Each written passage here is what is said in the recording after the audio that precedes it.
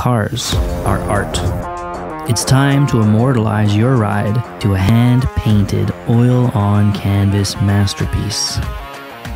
For a long time now, uh, I've been looking for a way to immortalize one of my favorite pictures of my McLaren 570S. And that's sort of where Paint My Whip came in.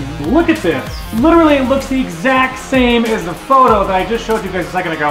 Absolutely amazing. It's everything What are I you waiting for? Commission a painting of your car today.